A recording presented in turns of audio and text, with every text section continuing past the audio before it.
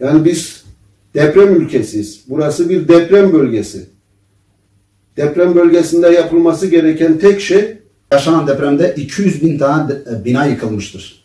almayın arkadaşlar. Almayın. Almayın. Şu binaları almayın ya. Evet. Ya işte yardım kampanyaları düzenlendi. Dünyadan birçok insan bağlandı buralara. Bütün binalar e, kaç katlıydı? 10 katlı, 15 katlı. Tabii ki. Bütün Tabii hepsi ki. yeni yapılardı. Bakın Tabii ki. eski binalar değildi. Ne kadar izansız, ne kadar kontrolsüz, ne kadar altyapıdan yoksun olduğunu şu sözlerle ifade etmek istiyorum arkadaşlar.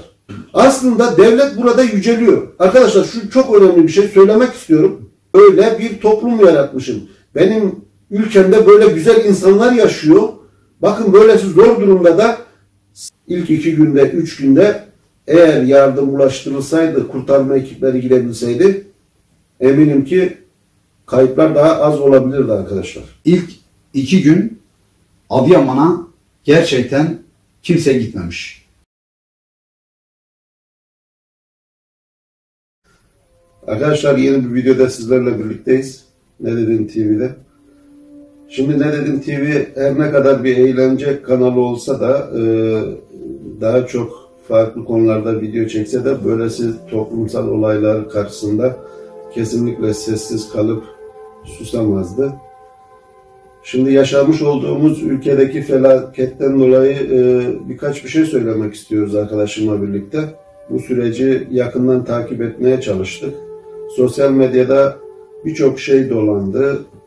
İnsanlar bir şekilde e, videolar attı, görüntüler attı. Yetkililer, yetkisizler herkes bir şekilde olaya dahil olmaya çalıştı.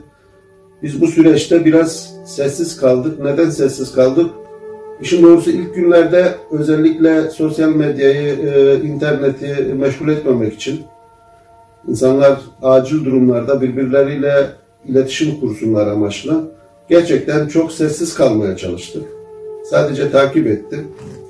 Çok acı şeyler yaşandı. Hepsinden önce ölenlere Allah'tan rahmet, yaralılara acil şifalar ve kalan insanlarımıza da canı yürekten başsağlığı diliyoruz. Ne dedim TV olarak. Tarifi imkansız bir acı olduğu kesin ve biliyoruz. Bunu yürekten yaşadık. Biz de her gün oradakilerle birlikte ağladık. Oradakilerle birlikte hüzünlendik. Yerine göre dua ettik. Yerine göre yardımlarımızı ulaştırmaya çalıştık. Herkes kendi üzerine düşeni yapmaya çalıştı. Biz de kendi üzerimize düşeni yapmaya çalıştık. Yaptık mı? Belki de daha fazlasını yapmamız gerekiyor. Ama bir yerde elimizden geleni arkamıza koymamaya çalıştık. Herkes kendi üzerine düşeni yaptı derken gerçekten yaptı mı? O konuda biraz eleştirelim işin doğrusu. Yani ben kendim bireysel olarak eleştiriyorum. Herkes üzerine düşeni yapmamış. Sadece bu felaket günlerinde e, üzerine düşenden bahsetmiyorum. Genel olarak üzerine düşenden bahsediyorum.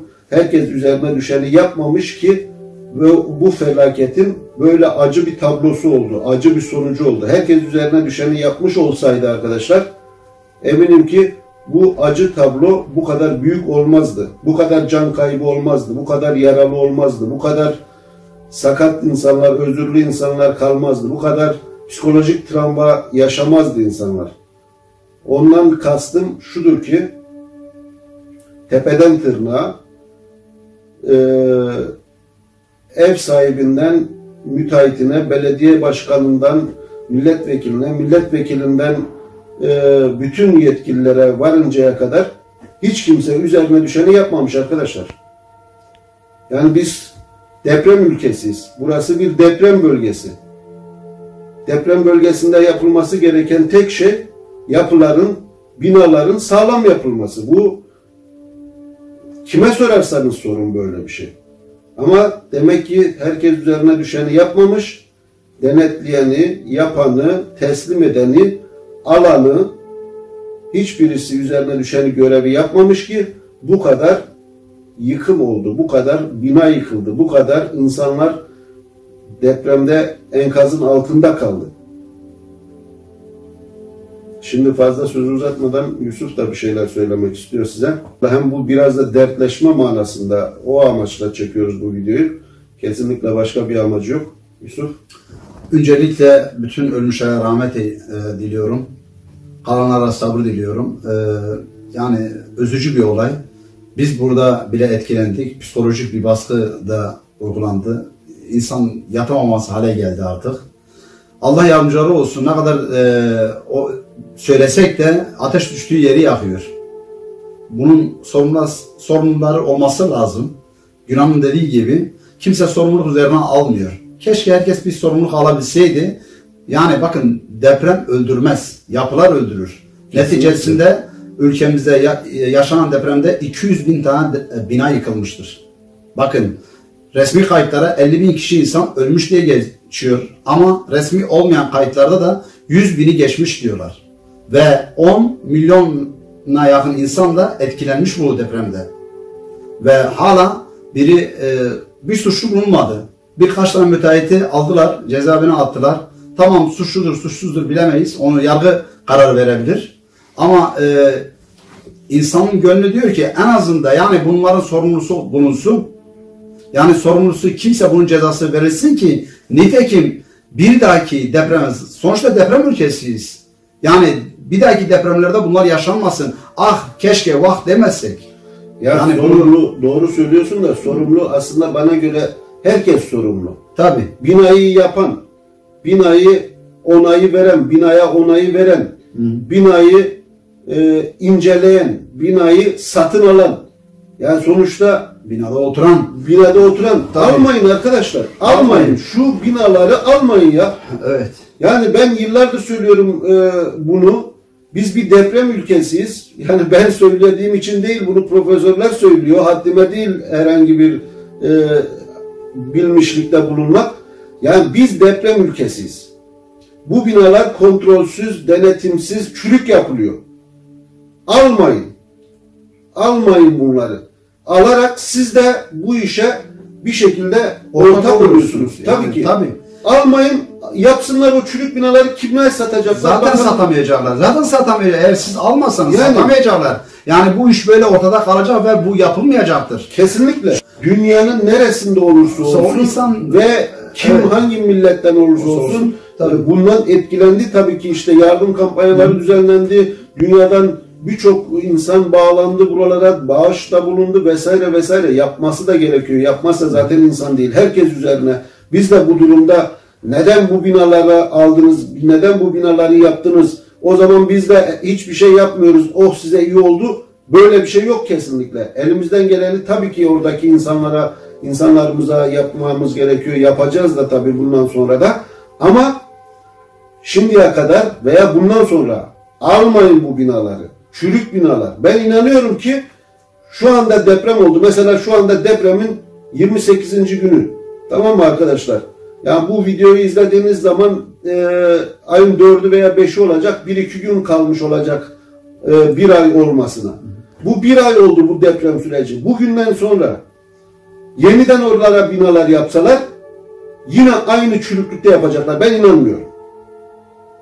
Siz de gidip almayın o binaları. Gidin çadırda yaşayın. Biz bir şekilde dişimizden tırnağımızdan size yardım edelim. Almayın. 10 gün, 20 yıl, 100 yıl sonra ne zaman olursa olsun yine böyle bir felaket yaşanacak. Belki de daha da kötüsü yaşanacak. Sonuçta orada gidecek belki siz olmayacaksınız. Sizin çocuklarınız arkanızdan gelen insanlar olacak. Onun için almayın bunu yapanları, buna ruhsat verenlere, bunu e, çürük binaya, çürük malzeme kullanan insanlara inat olarak almayın.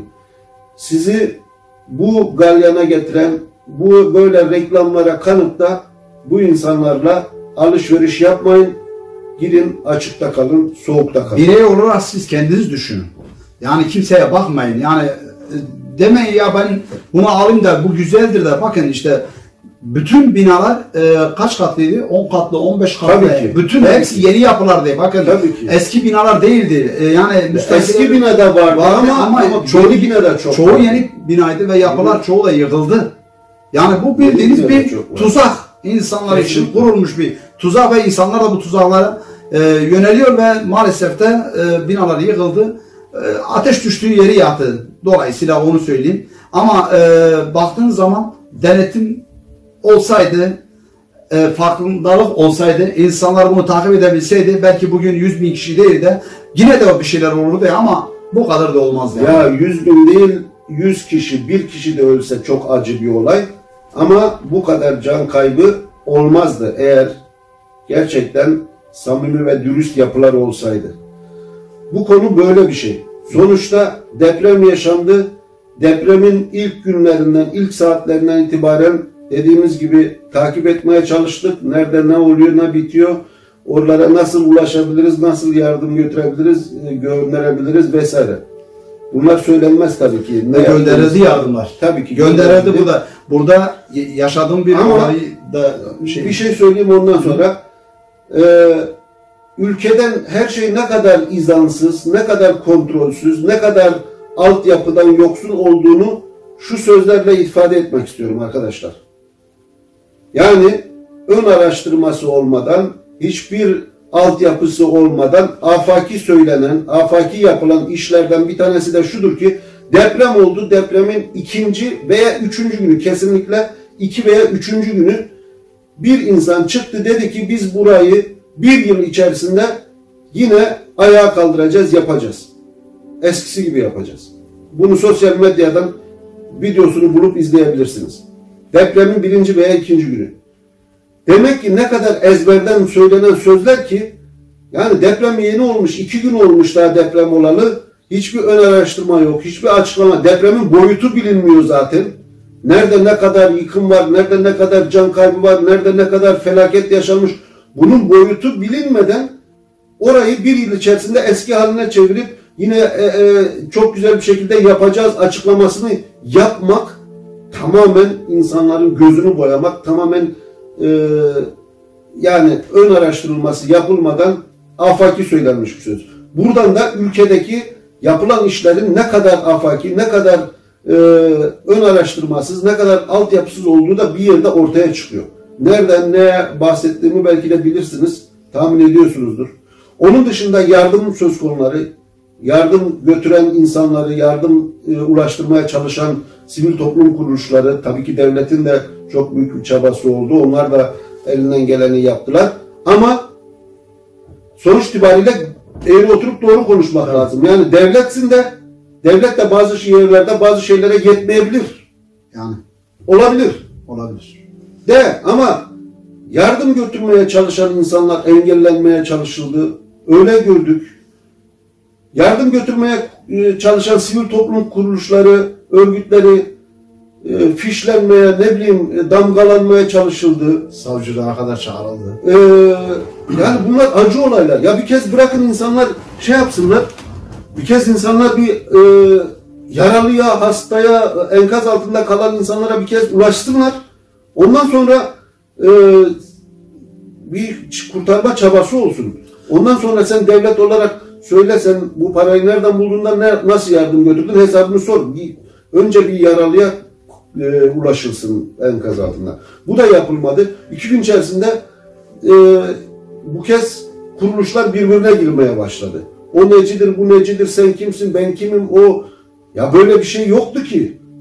Yani böyle bir şey olmaması lazım. İlk iki üç günde yardım götürülmeye çalışılırken, çalışılması gerekirken kurumlar birbirine girmeye başladılar. Maalesef. Devlete alçak düşüyor. Aslında devlet burada yüceliyor. Arkadaşlar şu çok önemli bir şey söylemek istiyorum. Şimdi böyle e, devletin önüne geçtiler. Sanki devlet acizmiş gibi gösterdiler. Devlet sanki e, buralara yardım götüremiyor da sivil toplum kuruluşları A'sı B'si hiç fark etmiyor. Yani bunun e, devletle veya e, partiyle veya e, sivil toplum kuruluşuyla herhangi birisiyle alakası yok. Sadece örnek veriyorum. Eğer bir insan bir yere yardım götürüyorsa ve bunu hukuk çerçevesinde, devletin koyduğu kurallar çerçevesinde götürüyorsa neden bu devletin önüne geçmiş olsun ki? Neden devleti küçük düşürmüş olsun? Aksine devletin daha da çok sevinmesi lazım. Daha da çok gururlanması lazım ki ben böyle bir toplum yaratmışım. Benim ülkemde böyle güzel insanlar yaşıyor Bakın böylesi zor durumda da yardım götürüyorlar. Ne güzel. Bu da devletin sonuçta bir nimeti, bir ürünü, bir e, parçası. Böyle düşünmek gerekirken giden yardımlara işte çok asparagas haberler de olsa, çok böyle e, şehir efsaneler de olsa işte o tırın üzerinden o bayrağı söktüler, onu yapıştırdılar, o kurumunkini yapıştırdılar. Bu, bunlar çok gülünç şeylerdi gerçekten. Çok gülünç şeylerdi. Asıl amacına hizmet etmedi oradaki yardımlar arkadaşlar. Asıl amacına şeye de gitmek istemiyorum. Daha yardım gitmeyen kur, ilk e, kurtarma ekiplerinin ulaşamadığı ve orada enkazların içerisinde altında insanlar canlı canlı e, hayatını sonlandırdılar. Bunlara da hiç dokunmak istemiyorum. Bu da zaten başka bir kanayan yara. En azından ilk iki günde bütün enkazlardan insan sesleri geliyormuş. Yaşayanlardan birebir konuştuğumuz, duyduğumuz şeyler bunlar. İlk iki günde, üç günde eğer yardım ulaştırılsaydı, kurtarma ekipleri gidebilseydi eminim ki kayıplar daha az olabilirdi arkadaşlar. Keşke olmasaydı. E, oldu. Ama bundan sonrasını düşünmek lazım. Şunu söyleyeyim mesela e, ilk iki gün Adıyaman'a gerçekten kimse gitmemiş. Tamam devlet açılma yaptı dedi ki işte yollardan dolayı biz oraya gidemedik. Ama oradaki insanlar e, tamamen e, dışarıda donarak öldüler. Evet. Yani e, bu e, sosyal medyada veya bir yerden haber almadık. Biz direkt oradaki insanlarla konuştuk. Bize e, dedikleri şuydu. Biz iki gün boyunca dedik ki dünya arada yerde bir oldu. Evet. Bizim bir şeyden haberimiz yok çünkü altyapısı yoktu. İletişim yoktu. Mesela şunu da eleştirmek istiyorum. Türkiye'de o e, şebeke e, sorunu var mesela. Evet. Türkiye'de Turkcell olsun, ne bileyim başka Vodafone şeyler olsun, var. Vodafone olsun, Turkcell olsun. Siz o kadar reklam yapıyorsunuz. O kadar işte reklamlarda her yerde çekiyoruz diyorsunuz. Evet. İyi de güzel kardeşim götürmüşsünüz bütün bazı istasyonları binalara koydunuz. Evet. O binalarla beraber çöktü mü? Evet. Ve o insanlar hiçbir yerde ulaşamadılar. Ne internet bağlantısı oldu, ne bir telefon aç, açabildiler, ne belki son anında bir sevdiğiyle de konuşmak istediler. Onu da yapamadılar. Hani ne oldu sizin o milyonluk şeyiniz? Yatırımlar. Yatırımlarınız? İşte doğuda biz şunu yaptık da işte bilmem Kars'ta bir tane video çektiler. İşte Türksel çocuklar geldi aydınlık getiriyorlar. Öyle bir şey de yok kardeşim. Onlar da sınıfta kaldı. Hepsi para tuzağı. Hepsi para tuzağı. Girmeyin arkadaşım. Bunlar da artık bunlardan da yani e, Adıyaman'da ben hemşerim. Onlar da öyle duysun. Evet. Ne evet, diyeyim yani? evet. Eleştiriyorum. Yani kusura bakmayın doğruları da söylemek zorundayız. Bir nokta 7 şiddetinde bir deprem oldu.